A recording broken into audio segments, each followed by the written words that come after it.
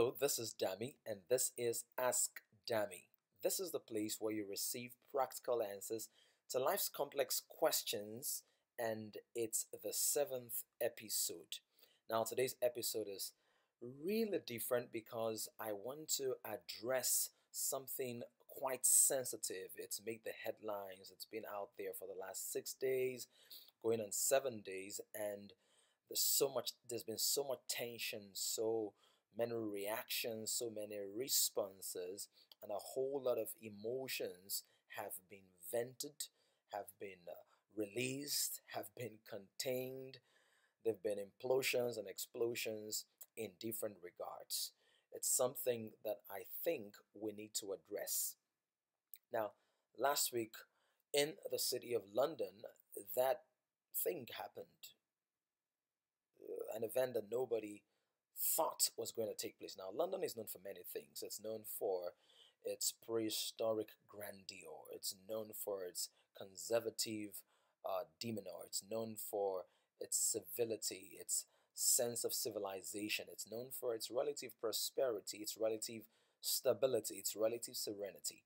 London is known for its tourism potential. We know about the London Bridge and the Big Ben and the London Eye and royalty and nobility and all of that. And when we think about London, we don't think about violence, we don't think about savagery, we don't think about attacks, we don't think about the kind of unfortunate incident that we witnessed last week, Wednesday, the 22nd of May 2013. You may have heard about it. Many of you are exposed enough to be watching the screencast or listening to this recording, then you may have heard that last week, Wednesday, a gentleman was brutally murdered. Now, by all standards, regardless of what the mot- motive could have been, what the motivation could have been, that was heartless, that was barbaric, that was uncommonly, that was wicked to say the least. And I know that the people who share my my my sentiments, the people who've been deeply touched, like I have been, by that unfortunate incident. And uh, many people have expressed different thoughts and emotions. And my idea with this screencast is not necessarily to proffer you the the director's cut or the news behind the news or to offer you something you've never heard before, even though you might stumble on one or two things that you've nev- never heard before but it is because a lot of people have asked me, what do you think about it? They've sent me messages, they've asked me in person, and the tendency for us as human beings is to react. When something happens, we react intuitively or instinctively. We lash out, we uh, speak our minds, we like to put it. We talk about what has happened and we roll it over and over again in our conversations. And there is nothing wrong with that because that could be helpful in our healing process when we are hurting. We tend to talk, uh, we tend to dispel the shock by rubbing minds with people who are feeling the way we are feeling or whom we think are feeling the way we're feeling. But my concern today is not necessarily about the religious angle to what happened or the political implications of what happened or even the socioeconomic uh, implications, the background factors. My concern is that long after the analysis have been made, long after the investigations have been concluded, and long after the interrogations have produced more facts, long after the bouquet of flowers stop rushing in to Woolwich in southeast London, we would have to look back and see if we could draw some lessons from that unfortunate incident. Uh, I've prayed at different times, and I'm still praying that the family of Lee Rigby will somehow find the faith and the fortitude to press through those difficult times and through those trying moments. Um, particularly stand in prayer for his son, his two year old son, that God will keep, protect, safeguard, and cause him to grow um, into a decent vibrant, energetic young man who will make the world a much better place than what it was when, when he was two years old. That's my prayer for him, and that's my prayer for all his friends and all his family members that God Himself will comfort and console them in these trying times. But long after this season, we would have to look back and say, what did we learn and what, what were we able to do? And that's why today's episode I've tagged it wisdom from Woolwich. Wisdom from Woolwich. Wisdom from Woolwich. What, what is it that we can learn? Is there anything at all that we might be able to learn from this angle? I, I believe that if Lee Rigby were still alive, he perhaps might want us to pick something out of this unfortunate incident. What, what is it that we could learn from this Woolwich savagery, if you will? A couple of things, I believe. And one of the first things that we could learn from this event is that life is a privilege. Life is a privilege. Every morning when you wake up and you can stretch and yawn and get out of your bed and rush to work or stay indoors doing whatever you do on a daily basis, remember that life is a privilege. Yeah, every day is a gift. Every day that you're able to breathe, you're able to to stand, you're able to walk around, regardless of how tired you might be, how frustrated you might feel, and how much money you still need. The fact that you're alive, that you can breathe, that you can move around is, is a huge privilege. And that's important to note. The second thing is that life is not entirely predictable. I know that people die every day, and many times people die under um, strange circumstances, and sometimes under uncomely circumstances, and sometimes under unlikely circumstances. But life is not entirely predictable. No matter how, how great a planner you are in terms of getting a grip on your work schedule and having your daily plan and working with your organizer and having a personal assistant or an executive assistant or a team of workers that program your different activities and log you in and log you out, life is not entirely predictable. Sometimes your best laid out plans will be flawed by an event, by a circumstance, by a situation. Number three is the life is temporary because life is not predictable. Yeah, at some point, people die. At some point, we will die. At some point, everybody who was born will breathe his or her last. Now, I'm not trying to overwhelm you with a sense of morbidity or scare you.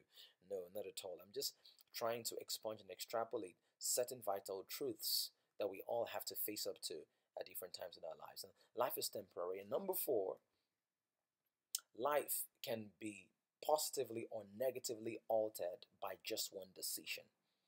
Sometimes your decision is far more reaching than you could ever imagine. Who could have imagined that the, the decision of that young man who, with a knife and a meat cleaver, jumped out with a friend of his could alter the activities of an entire city? Who could have imagined that that decision to take the life of somebody, an innocent man, could have a ripple effect. Who could have who could have imagined that it would tell on a two-year-old boy? Who could have imagined that we would watch his wife weeping and wailing on television with many of us joining her in her tears? And while she might say, Well, I've not decided to hurt anybody, to kill anybody, I would like you to pay closer attention to the decisions that you make on a daily basis. From the boardroom to the bedroom, from the classroom to the cloakroom, the decisions that you're making is either making life easier or making life more difficult. It's either making your own life easier or making your own life more difficult. Ultimately, the quality of your life is going to be predicated on the quality of your decisions. So, if you know what I think about what happened in Woolwich, I have many questions that have not been answered. I have questions as well. I know this is Ask Damien, and you might get the idea that I have all the answers, but that's not accurate. I still have, I still have questions as well. But take these four things: life is a privilege. It's not entirely predictable. It's temporary, and it can be positively or negatively altered by just one decision. Now, it's important to know this: that a decision you make within three minutes can change your life for three decades.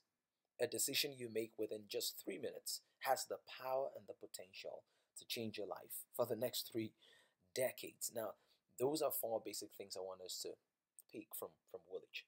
But having said that, I'd like to ask do you have a plan for for life beyond here, beyond your experience on earth? Do you understand that one day you're going to breathe your last and it might be whilst you're asleep, it might be, I don't know, anyhow. But have you made a, a concrete decision? Have you made a plan on what happens after here? I know there are all sorts of philosophies and thoughts and ideas out there about how, you know, when people die, they die and nothing happens after here, there's no life beyond here. But I am fully persuaded that every human being will have life somewhere after here. And some will have it in heaven, and some will have it in hell.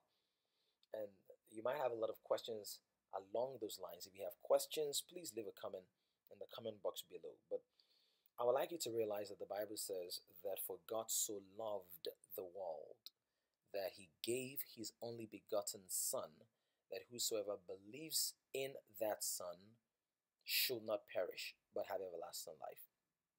How does that work? It works this way every man is born flawed, every man is born sinful, every man is born immoral, every man is born fallen, every man is born on his way to destruction, on his way to hell. Every man is born without a sense of spiritual security. God, in His goodness, and God, in His mercy, and God, in His love, and God, in His faithfulness, said, You know what? I, I don't want men to perish. I don't want men to go to hell. I don't want them to burn in, in a place where there is darkness and delusion and confusion and anger and bitterness and everything that is not God. I want them to be with me in my home and my haven called heaven. I want man, regardless of his background, his race, his color, his creed, his psyche, his thought patterns, his background, his history. I want man, as long as his blood is red, to spend eternity with me. And so, what God did was He divested Himself of His superior paraphernalia of grandeur and glory, and He wrapped Himself in human flesh and hid himself in the belly of a virgin woman called Mary. And after nine months, he popped out and grew up as a human being and offered himself as a sacrifice on the cross. Why did he offer himself as a sacrifice on the cross?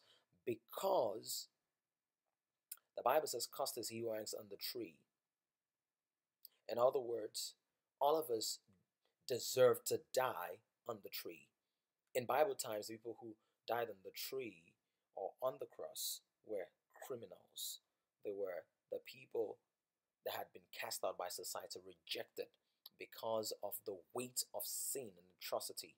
They deserve to die. And we all deserve to die. You might say, Well, I've never killed anybody before, so why do I deserve to die? But have you ever had a murderous thought in your heart? Have you ever had a lustful thought in your mind? Have you ever wished somebody dead? Have you ever told a lie? Have you ever taken something that didn't belong to you? Have you ever cursed somebody in your heart?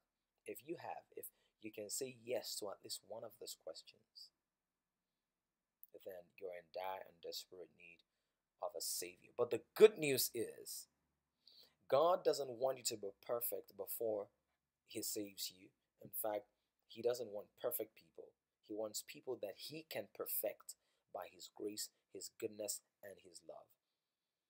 This might not make any sense to you at all. It might sound like the rambling of a silly preacher or somebody who's overwhelmed or drunk on the bad news we heard last week. But this might just resonate with you, and, and you might want to say, well, I'm not even sure if there's heaven or hell after after here, but I don't want to take chances. I'm not even sure if there is a if there is an eternity, but I, I want to make a decision because Dami told me a few moments ago that life can be positively or negatively altered by just one decision. And if you're with me along those lines, if, if this resonates somewhere in your heart, I just wanted to say simple prayer with me and say, Lord God, I thank you because you love me. I thank you because you died for me. And I thank you because you gave your life for me. Today, I confess Jesus Christ, your Son, as my Lord and my Savior. I accept the gift of salvation. I receive the gift of your life. Make me new. Write my name in the book of life and cause me to grow in love, in favor, in grace, and in faith. So I become more like you with each passing day. In Jesus' name I've. Amen. Now, if you said that prayer, that perhaps could be the greatest decision you have ever made in your life. Now, let me tell you this. I said this prayer.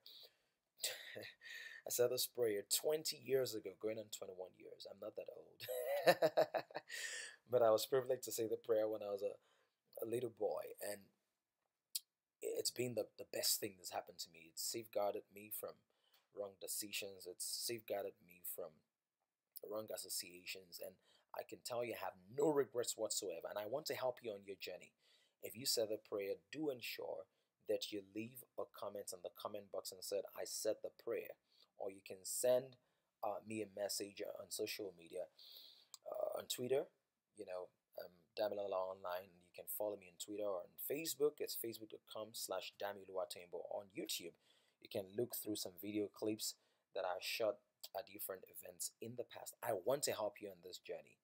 Now, do me a favor, share this link with your friends, your loved ones, or the people around you that you believe need to say this prayer. And if you said it before, all well and good. Let's spread the love, let's spread the joy.